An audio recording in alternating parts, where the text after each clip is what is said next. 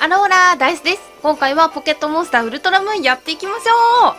実はですね、東京に行ってきました。ということは、このイベント行ってこれました。ポケモンセンター20周年記念キャンペーン。4月25日から6月30日の間に開催されていたので、この間に行けるかなって思ってたんですが、よかったです。ということで今回はシェイミをもらいに、スカイツリーのポケモンセンターに行ってきました。中はね、レックーザのところにも、シェイミの20周年記念のもあったし、ピカチュウもね、花を頭につけてたりとかしてました。とこんな感じで、えポケモンセンター20周年アニバーサリーの、なんていうのかな、看板とかがあったりとか、普段のね、御三家も変わっていて、真ん中にピカチュウとシェイミ、飾り付けもね、グラシデアの花もいっぱいあって、めちゃくちゃ華やかでした。ということで、もらってきた時の画面です。20周年感謝のシェイミ。感謝ポケモンですもんね。20周年を迎えたポケモンセンターから感謝の気持ちを込めてシェイミをプレゼント。これからもポケモンセンターで素敵な思い出を作ってね。ということでもらったのを見ていきましょう。ナイス私がもらったシェイミは、はい、オスメスはシェイミないですからね。親がポケセンになってます。性格が控えめで特性が自然回復。持ち物に変わらずの石を持ってもらいました。持っている技は、恩返し、成長、シードフレア。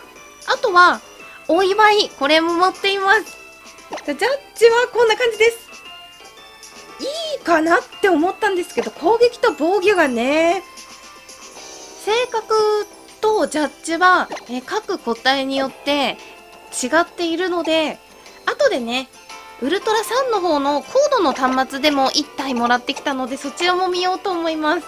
で今回はこのね、シェイミを使って、バトルに遊びに行くのと、あとは、シェイミ、フォルムチェンジがあるじゃないですか。私はまだもらってなかったので、シェイミのフォルムチェンジができるアイテムももらいに行って、実際にね、フォルムチェンジもさせようと思います。レベル20で受け取ってるんで、まあ、とりあえずこの辺でいいかな？いやー、すっごい可愛いよね。初シェイミなんですけど、もしかしたら以前の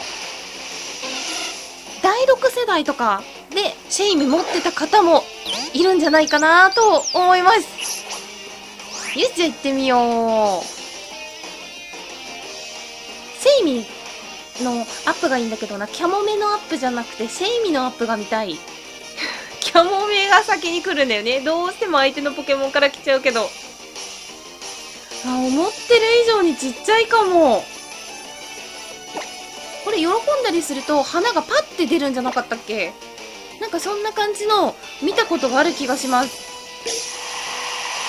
かわいいお祝いおめでとうありがとうあとね、ちょっとね、私忘れてきちゃったんですけど、20周年のキャンペーンでポケモンセンターでね、合言葉とかでプロモカードがもらえたりとかっていうのもいろいろあったりするので、ぜひ、え、これから6月30日までの間にポケモンセンターに行く用事がありますっていう方は、公式のね、ホームページでいろんなプラスのキャンペーンだったりとか、そこでもらえるものあったりするので、そちらもチェックしてみてください。いや、急いで行っちゃって急いで来たんだよね。とりあえずもう一回。まだ1技しか使ってない。おマーイーカーが来てるマーイーカー進化で一番驚いたポケモンですね。まさか逆にするとはっていう。どうしようかな。成長を使って、まだ使ってない技を使おうと思います。ぐーんとじゃなかった。普通に上がるんだった。ぐーんとじゃないね。間違えた急所、急所はちょっと痛いかな。シードフレアお、お強っまあまあ、レベル差あるから強いんだけど、アクションがすごいかっこいいね。え、かわいかったいいね、シェイミーウルトラさんの端末でも、シェイミーのゲットができているので、見ていこうと思います。性格は、何だったんだろう。頑張り屋。持ち技とかレベルとか持ち物、特性、ここはね、共通なので変わらないですが、頑張り屋で、あ、ジャッジがこんな感じ。だいぶ違うけど、どちらも相当優秀な能力でもらってきました。何回かですね、ポケモンセンターで記念ポケモンを私はもらって帰ってきてるんですが、コメントでたまにどうやってもらうんですかっていう風に聞かれたりするので、ちょっとご説明しながら移動しようと思います。ポケモンセンターで受け取るときって、ローカル通信で不思議な贈り物を受け取るんですけど、私ね、一回やらかしちゃったことがあります。何をっていうと、3DS の電源がなくなっちゃったんですよ。なので最近は、もらいに行く時には必ずね 3DS の電池を100%にして現地まで電源を落としていくっていうことをやってます。いや現地についてもらえるのに電池ないやっていうのをかなり悲しいですよね。なのでねあの皆さんも今後もらいに行く予定がある方は気をつけてください。あとはね手持ちのポケモンに受け取って入ってくるので1体開けておくっていうことをするとスムーズにもらえるかなと思います。はい。ではシェイミをフォルムチェンジさせるためにハオーリシティショッピングモールのブティックの店員さんのところに来ました。まだもらってないんだけど多分この人？お来た。グラスであのご利用誠にありがとうございます。これだね。この度ご来店サービスとしてこちらを差し上げております。もらいました。グラシデアの花ここのショップの名前もグラシデアっていうのかな？なんかっぽいよね。あやっぱりそちらは当ブランド名にもなっております。グラシデアの花。お客様への感謝の気持ちを込め差し上げております。これまだ受け取ってないやっていう方はぜひ受け取りどうですか？とあるポケモンに使うと何かが起きると聞いております。では今後ともごひいきのほどよろしくお願いいたします。はいこれをねセイミに使おうと思います。ここグラシデアっていう名前だったんだね。あ書いて書いてあるのちょっと違う？なんか違うね。大切なものに入ってるはず。ありました！誕生日や記念日などに感謝の気持ちを伝えるためブーケにして送ることがある。グダシデアの花です。シェイミのね頭のとこにもついてたり後ろからねパッて出てきたりするお花だよね。なんか記念っぽい。いいねで変わらずの石持ってるんですけどこれ使ってフォルムチェンジ完了。スカイフォルムになりました。いやどんな感じなのかちょっとポケモンセンターにも戻ってみようと思います。スカイフォルムって私今回のこの第7世代のウルトラサンムーンで初めてシェイミーをもらった関係上ちょっと知らなかったんですけど第6世代まではボックスに預けると元に戻ったりしてたっていう。風にね調べたらなんか出てきました。びっくりした。はいシェイミースカイフォルムです。アローラの世界だと朝と昼に使うとスカイフォルムになるそうなんですが夜になると根元に戻るそうです。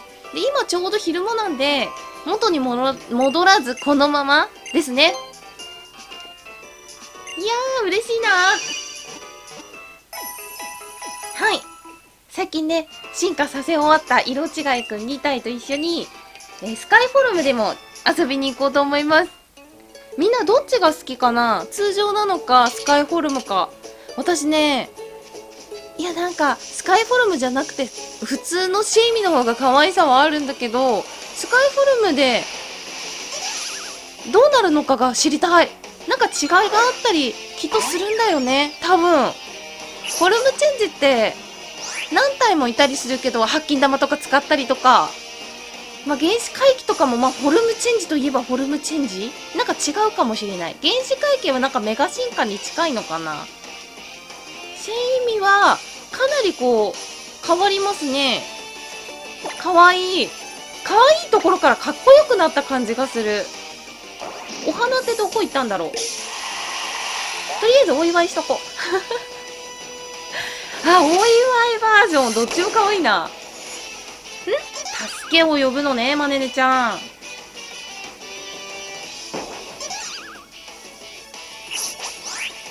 生命はダイスの指示を待っている。可愛いどうしようか。とりあえず、呼び出した方を倒していこうかな。ハート出るのいいよね。すごく可愛らしい。いや、私の初シェイミーはですね、戦闘とか使おうかなとかちょっと思ったんですけど、うーん、保存かなまたね、あのー、変わらずの石を持っていたっていうの知らなかったんでちょっとびっくりしたんですけど特にあのフォルムチェンジャーあるけど進化があるとかっていう子ではないもんね卵は未発見だから多分生まれないと思うしな。うん。ちなみに英語の名前でもシェイミはシェイミなんですよね。なんか変わったりする名前の子もいるけどこの子は変わらず英語名でもシェイミです。よしオッケー。あー、受け取りいけてよかったです。ね、ポケモンセンターも20周年っていうことなんですけど、またね、ウルトラサンムーンのポケモンたちが、あの、ポケモン GO の世界に今後出てくるっていう風にポケモン GO の画面にもあったりしてたんで、私それもこれから楽しみなことの一つです。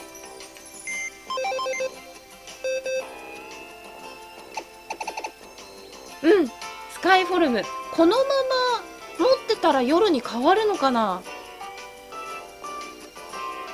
いやでもなもしかしたら大切なものもう一回使ったら変わるかもしれないよねということで今回はですねポケモンセンター20周年記念キャンペーンでもらってきたシェイミを使って遊びに行ってきました。感謝ポケモンっていうことなんですけど、今レベル20で受け取ってそのままちょっとしかレベル上がってないんで、今後ね、レベル上げてどこかにお出かけしよっかなっていうのをもうちょっと迷おうと思います。はい。他にもね、ポケモンセンターに行った時に、えー、ガチャガチャとかね、ちょっと回してきたりしたので、今後動画にしていこうと思います。この動画が少しでも良かった方は、高評価のボタン、チャンネルのご登録、コメントよろしくお願いします。最後までご視聴ありがとうございました。それではまた !See you!